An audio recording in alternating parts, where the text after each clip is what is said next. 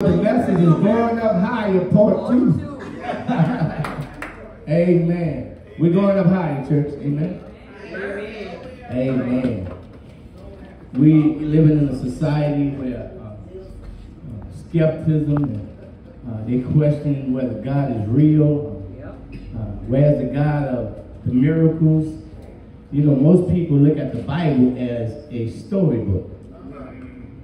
And so the Red Sea experience and all the things you see in the Bible to them are not really real. Amen. They're just fairy tales. Amen. And and if you're a believer that believes that, then you're lost. Right. Amen. Because the Bible is infallible, undeniable. It's the truth of God's word. Amen. Amen. And what he said happened, happened. And the thing that happened then will happen now for those who really believe. Amen. So God wants to give us a supernatural exchange. But you got to want more. You, you got to be hungry for God. Amen. Thank You got to be hungry for God like you get hungry for Popeye's chicken. See, I got to get down on your level so you understand what I'm talking about. You know, I'm going to talk about Popeye chicken. You can taste the rice. My God. Amen. You got to want more. I want you to go with me to the book of Revelations. Amen. The fourth chapter. I'm not going to hold you long, but I promise you will make you strong. Revelations, the fourth chapter.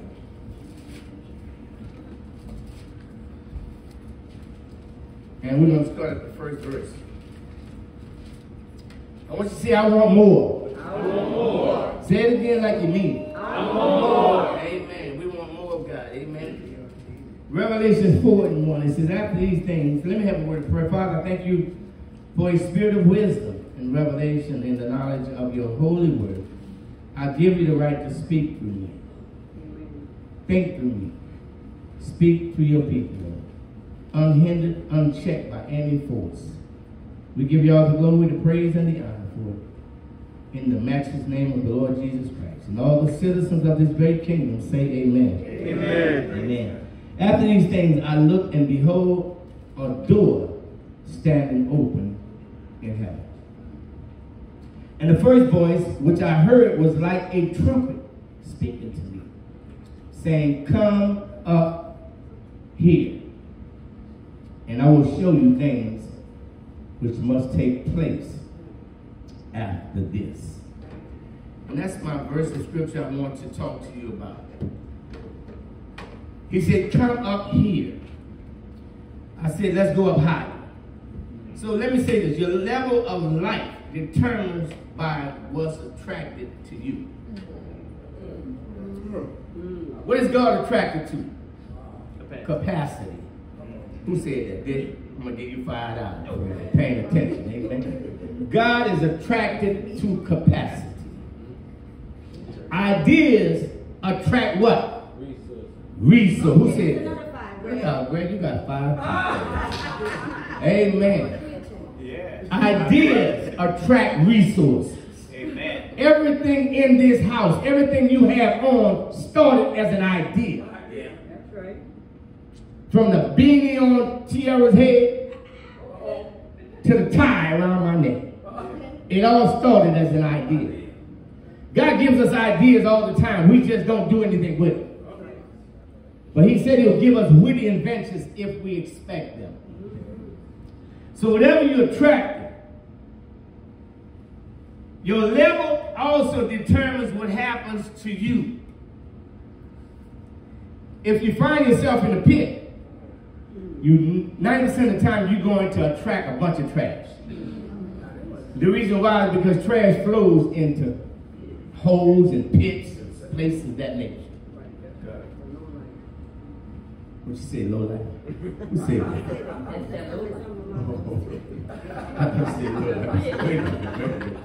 Praise God. A pit is where the flood washes all sorts of unwanted material and trash down. So if there's a lot of trash attracted to you, you need to get out of the pit. Let me say that again. If there's a lot of trash being attracted to you, when I say trash, I'm just talking about people don't want nothing in life. You know what I'm talking about. if you tr- attracting those kind of people, then you may check the, area. You may be standing in the pit. But I want you to notice that he told the door, he- the door was open. He said, I saw a door was open. So the significance of a door being open is there's no restrictions, no limitations. Right? That door was open, and that door is open to the body of Christ today.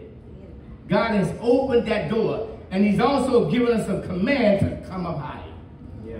In other words, God is calling us to live in a different place, live on another level. We got to stop living on that low level. We're so used to living casual. Let me tell you what casual means relaxed and unconcerned. I'm to say that again.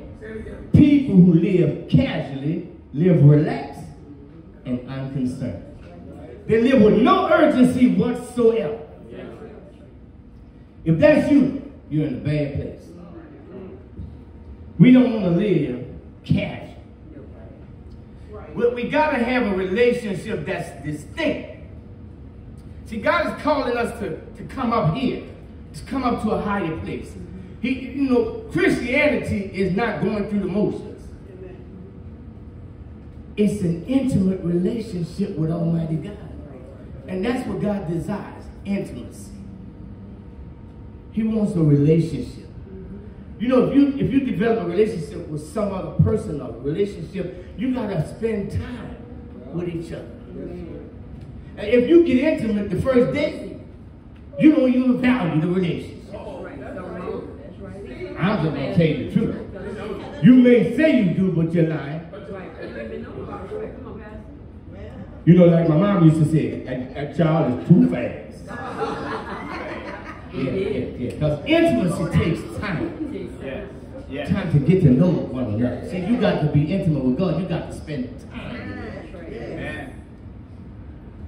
You can tell when people get intimate with God because their lifestyle changes. Their relationship changes. Their worship changes. You don't have to encourage them to worship. They, they just sense the presence of God. They just enter in. Some of us, we can't enter in worship because we're still struggling with who we are. Struggling with our identity. Struggling with who we are and what we're supposed to be doing. God is calling us to another place. The door was open. No restrictions, no limitations. Nobody's not going to be denied. You may have to leave some stuff behind. Oh, that's what it is. Oh yeah, you're gonna have to let some stuff go. You can't go in there with all that stuff. Some of that stuff Deanna was talking about. Yeah. You can't go in with that stuff. You gotta let that stuff go. Some of that stuff you've been holding too long. Yeah. And it's weighing you down. And even though you want to go up, there's weights that's holding you down. But God says, I want you to let that stuff go. Let it go. I know it's been a long time. It started in childhood. I know your parents didn't do you right. I know, you know, they didn't treat you like you thought you ought to be treated. But guess what? You got to let that go. I know they weren't the best caregivers in the world. They didn't cover you, they didn't protect you. So now you become a guard to yourself. Now you got to protect yourself because your caregivers didn't protect you. The things that happened to you, it wouldn't have happened if they would have been protecting you. And now you've got to blame everybody for your situation. But let me tell you this it's not what you go through, it's how you respond. That's right. It's how you handle what you go through. Come on. God says, I know you've been through trial. but I could bring you out and use what you've been through to help somebody else come through. But stop being mad with yourself and with everybody else. You had no control over that. Some, some of that stuff just flowed into your life. Some of that stuff you invited in. Amen. The stuff you invited in, you need to repent for. Amen. The, the stuff you flowed in, God forgives you for it because it wasn't your fault. So stop beating yourself up for stuff you ain't no control over. But God is saying, I'm giving you a chance to come up here. I've given you an open door, and now I'm calling you to come up to live on a different level. I, want you to go with me to Second Kings, because I want you to see the desire to want more. Second Kings. And most of you might be familiar with the story. But this was Elijah was about to go into glory. God was going to call him into heaven. Second chapter of Second Kings. And so he had a young man that was following him around. Elisha was following Elijah. And so Elijah was training him, like the Holy Spirit is training us. And the only difference between us and Elisha was Elisha followed Elijah everywhere he went. And we would learn to follow the Holy Spirit everywhere he leads us. Lord have mercy. We would have greater results in ministry and in everything else. But we've not learned how to follow the leading of the Holy Spirit. We need to ask the Holy Spirit, Holy Spirit, lead me, teach me, guide me. Second chapter, it says, It came to pass that when the Lord was about to take up Elijah into heaven by a whirlwind, that Elijah went with him, Elisha from Gilgal. Then Elijah said to Elisha, Stay here, please, for the Lord has sent me to Bethel. Now, Bethel means the house of God. But Elisha said, As the Lord lives, as my soul lives, I will not leave you. So they went down to Bethel together. Now, what he was really saying is, I need more. I need more of your spirit. I'm not equipped uh-huh. to separate from you now. Oh, I need you. I, I, need everything that you offer. I need everything you can give me. I need everything you can deposit in my life to prepare me for where I'm going. So he said, I'm not going to leave you.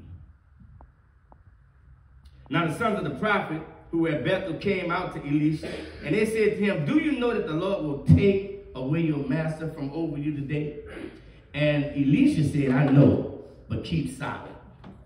In other words, be quiet. I know exactly what's happening. And Elijah said to him, Elisha, stay here, please, for the Lord has sent me on to Jericho. Now, he's telling him to stay in Bethel. Now, let me just tell you about Bethel. Bethel was given over to idolatry, lust, homosexuality, skepticism. Let me just tell you what skepticism is. It's the doubt as to what the truth of something is.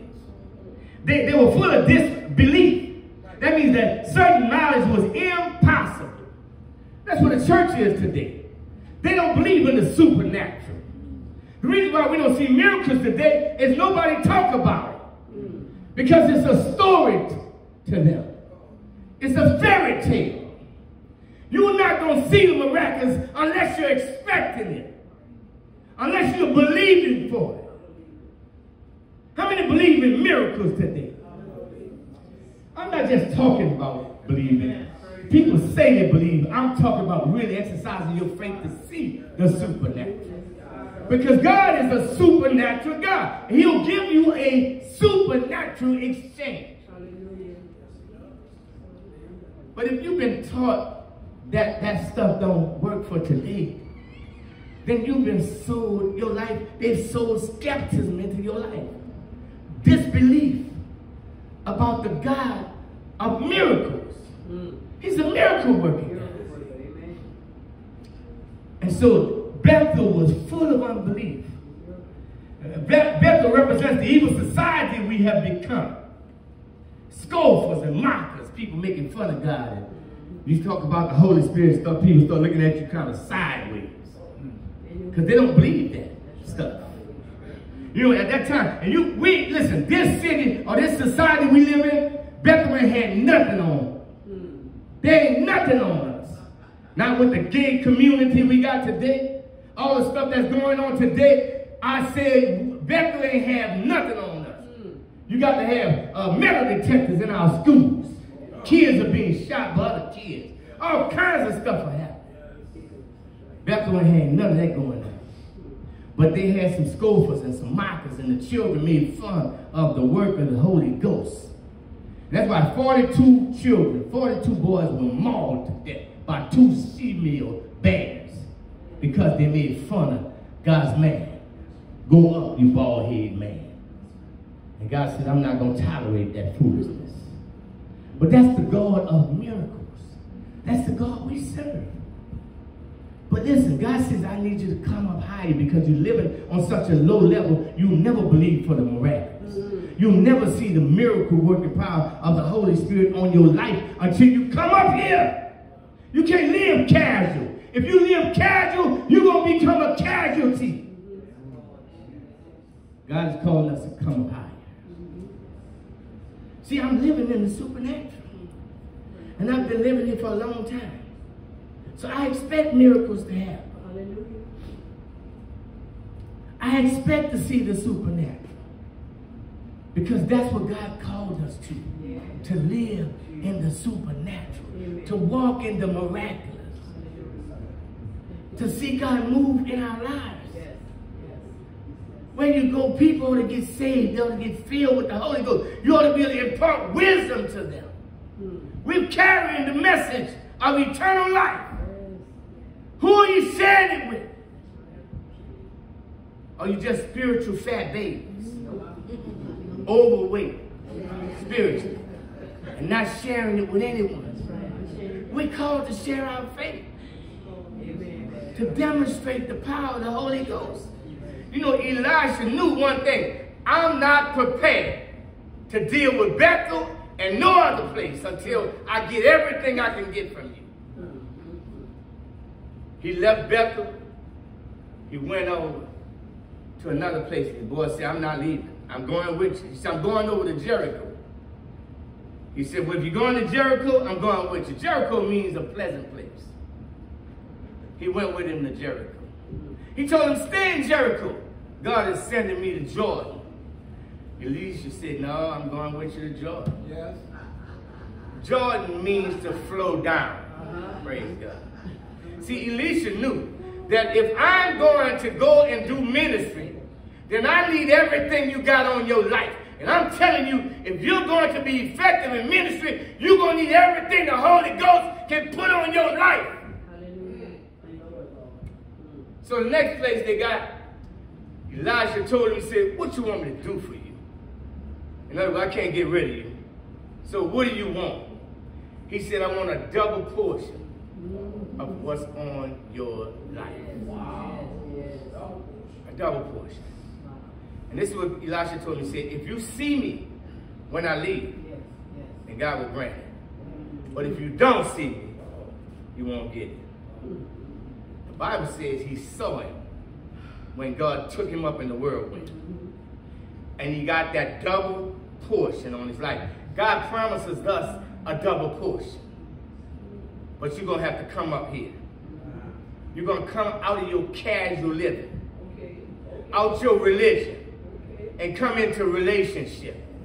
Come into an intimate walk with the Lord Jesus Christ.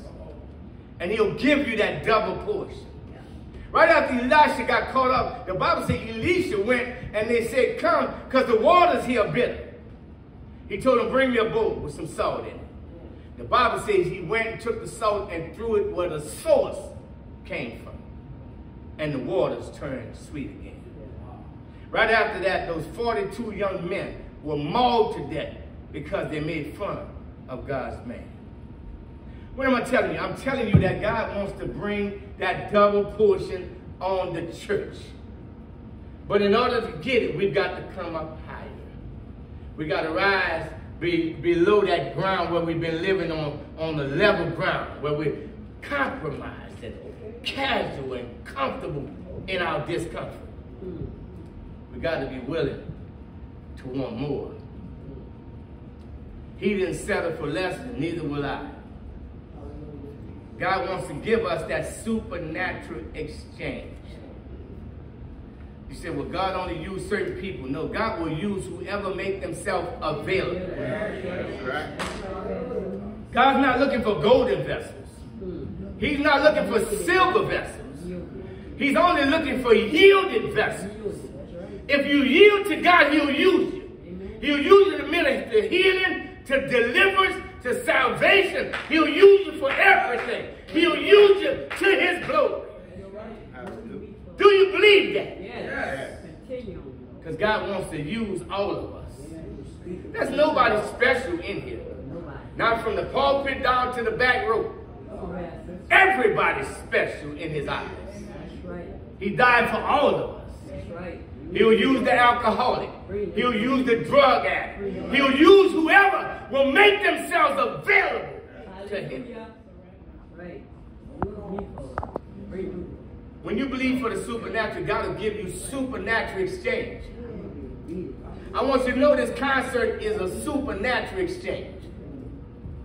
I was talking to a young man who does concerts and stuff, and he told me, he said, let me ask you this, how did you get Fred Hammond, who is an icon in gospel music, and all these other artists, how could you get them to come here? And I've been doing this all my life, and I, I hadn't been able to do anything like that. I said, obviously, you don't know the God I serve.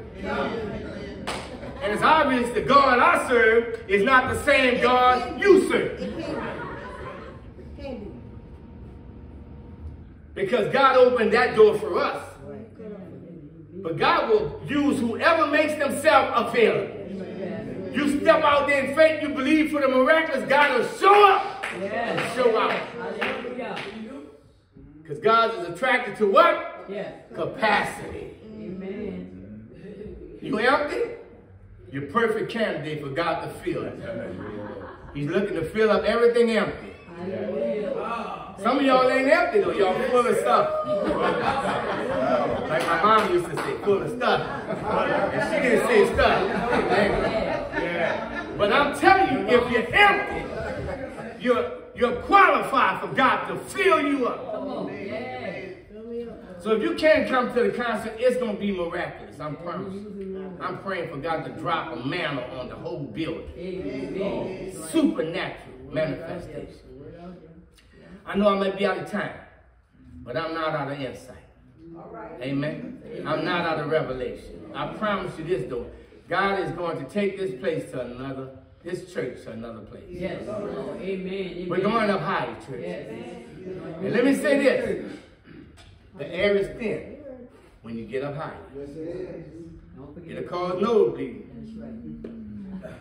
If you ain't ready to go up higher, you may not be able to breathe when you get up there. Everybody go. So it's important that you prepare yourselves for the trip. Amen. Amen. Would you stand with me? Amen.